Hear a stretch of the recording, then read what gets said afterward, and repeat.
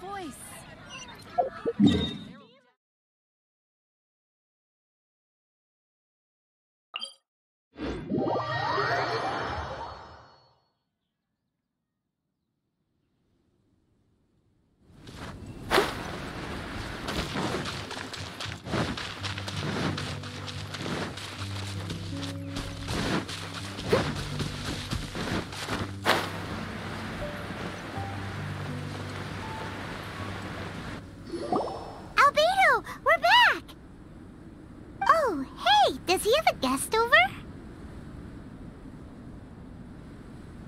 Yes, perhaps it is too soon to ask our greenhorns to come adventuring here. But adventure is nothing if it is not about pushing our limits. What is a journey without struggle, without excitement? This place may be infested with wicked Hilichurl bandits and knee-deep snow, but an adventurer must never stop pressing forward. Cyrus, to the point, please. come, come. The beauty of a chat lies in the journey, not the destination. Just like an adventure.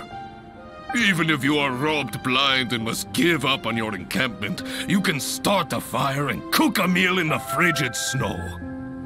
This journey up the mountain will be an unforgettable one for all our newcomers. Hmm, yes. They may resent me, or even hate me. But in the future, they will think back upon this moment with hearts full of gratitude. For this was the day that the spirit of adventure was passed on to them. Oh, yes, go on.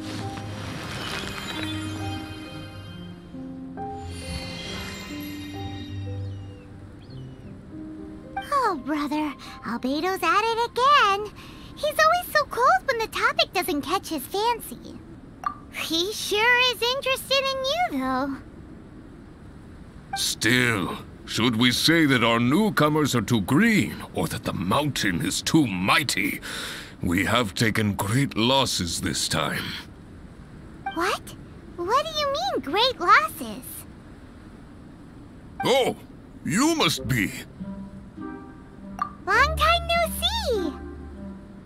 Ah, yes. The young adventurer and her companion. It is my pleasure to see you here. I trust these frigid ascents have not given you too much trouble? Ha! We can take anything it has to throw at us. Ha ha ha! Good, good. I love your confidence. But you must be here on some important duty, braving the wind and snow like this. I came here to gather the latest data on Hilichurls, and asked her to serve as my assistant.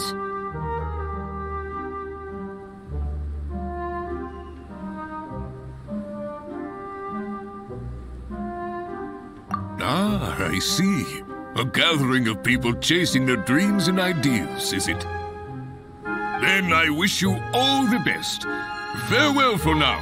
I must go see to our new recruits. Looks like we've made a discovery. Well, it is a magical sword after all. It's understandable that he doesn't want other people to know about it. I am listening, you know. There is no should or shouldn't here. I can answer your questions, but not right now. Right now, I have more pressing matters on hand. Pressing matters? Let Paimon guess. We've got a part to play in it too, huh? You're getting smarter, Paimon. Hey! Paimon will have you know that she's always been smart. I have discovered some new habitats nearby with different monster types. I believe they will provide us with similarly varied data. Perseverance is key to research, and persistence is the basis of the alchemist's art. So, are you ready? Then let us go.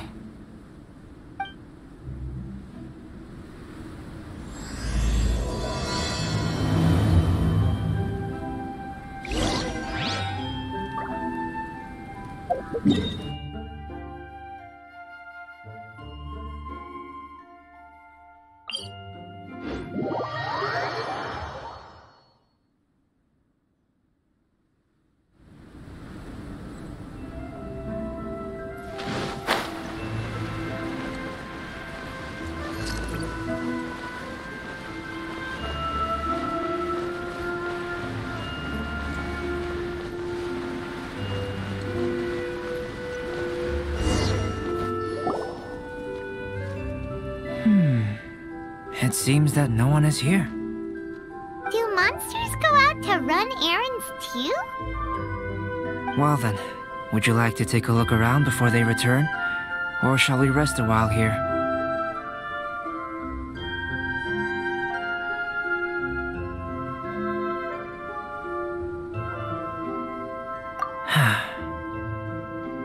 All right. Uh, what would you like to ask? I know you must have questions, whether it be about me or about this entire situation. As I said before, I will answer them. But I will not deceive you. There are some things I cannot go into detail on. On these matters, you'll have to permit me to summarize a bit. Huh. Guess Albedo can be pretty straightforward when he wants to be. Uh-huh. Uh, what? Do you really think that's possible? Did you see that? That Hilichurl ran off while holding onto something that looks like a book. That's... not good. That was my sketchbook. Paimon thinks it's just your run-of-the-mill thief, really. To think that it dared to steal my sketchbook. Quite bold, this one. Hmm. Looks like Albedo's got a frosty temper.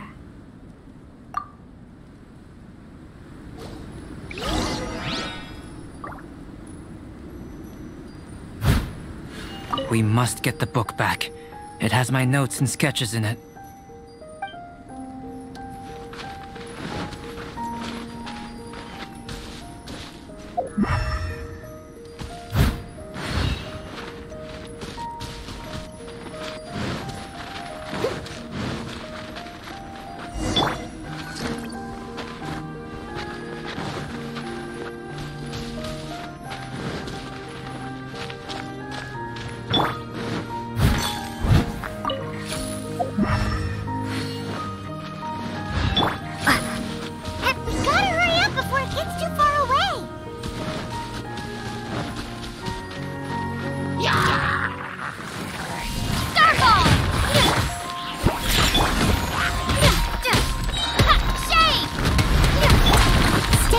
Stone.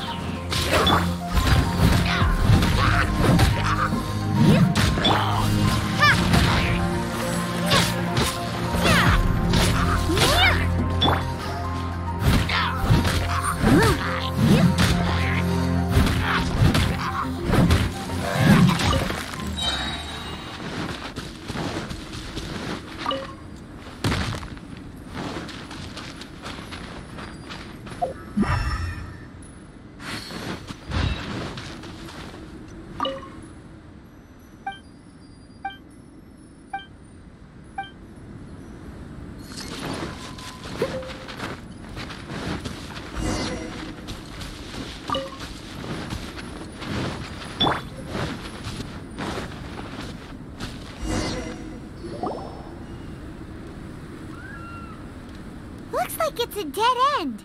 You know, except for this huge cavern entrance. Judging from the tracks, that seems to be the case. Then what are we waiting for? We can't let it escape. Wait. This mountain is incredibly large. Even if there was a path within its bowels, such a road would not be easy to walk. Can you feel it? The wind carries the scent of ice and stone with it, and the sound of echoes. The space within must be massive. Really? As such, rash moves are of no benefit to us. But, but we've come all this way. We can't just let it leave. It is, but that doesn't mean that we should act recklessly. There is another way. It just requires some extra work. If my guess is correct, this cavern's exit is on the other side of the mountain. You are quite the expert glider, and I am a fair hand myself. So, prepare yourself, and we'll glide across in one go.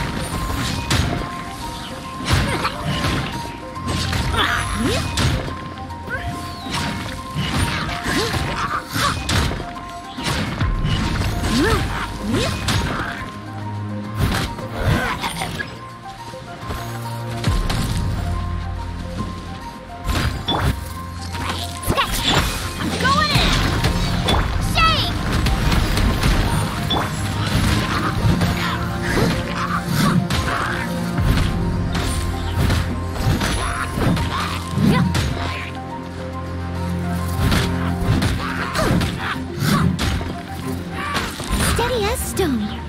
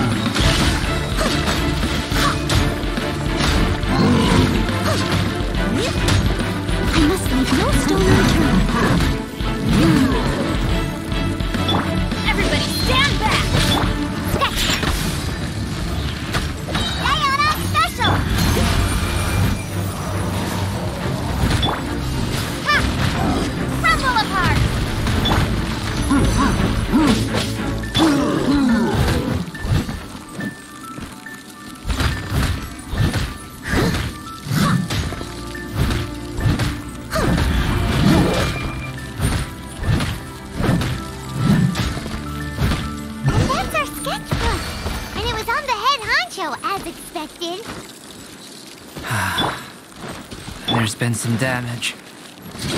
I need to head back to see if there's anything I can salvage. Let's meet at the alchemy stall in Mondstadt later, shall we?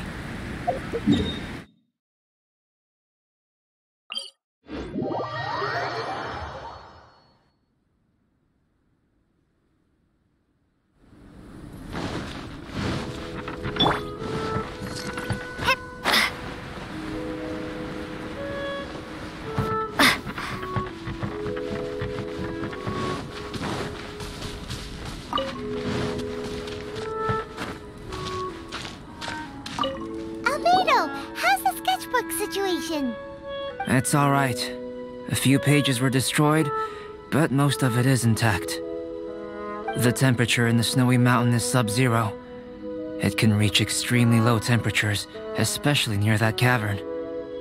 What makes matters worse is that the hilichurls have drooled all over the pages.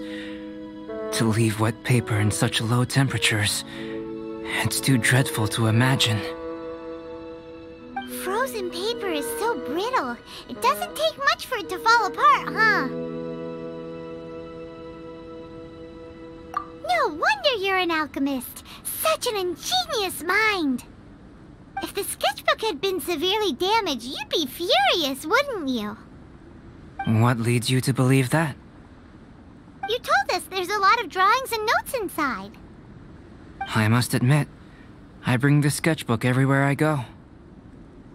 However, I wouldn't fly into a rage over such a thing. Had I not been able to salvage it, I would just draw everything again. Huh. How pragmatic of you. Is that so?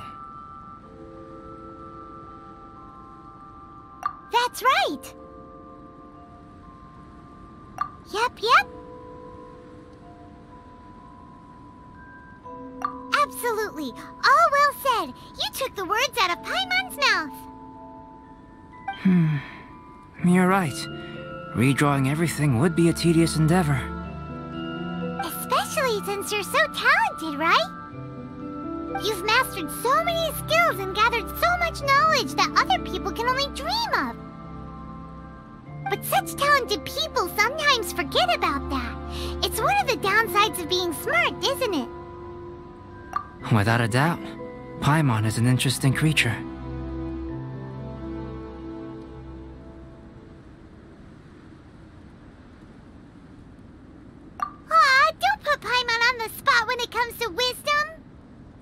Changing the subject, Cyrus told me that the hilichurls from this mountain attack and rob adventurers.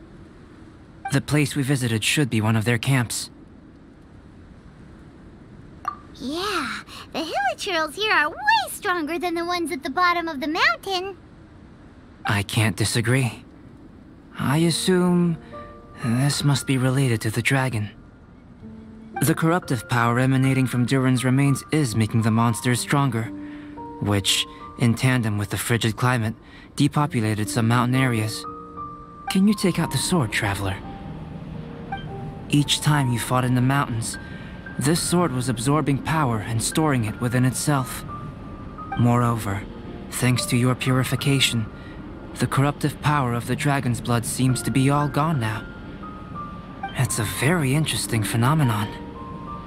It's not the we've done something like that. We're experts. I always wondered what purification was capable of. I knew you were capable of doing it, but seeing it with my own eyes is a unique experience. Indeed, I can't say it's the safest of weapons. Lucky that it wasn't snatched away by those hilichurls. Otherwise, we'd be done for. Hilichurls are a threat too. What if that power could turn them into super, no, ultra Hilichurls! Ultra demon Hilichurls! Snowman, now you've ruined the game. Anyway, about the sword. If it's so powerful, can't it absorb your energy as well, Albedo? Would you like to try it out? Yikes! Such a cold gaze!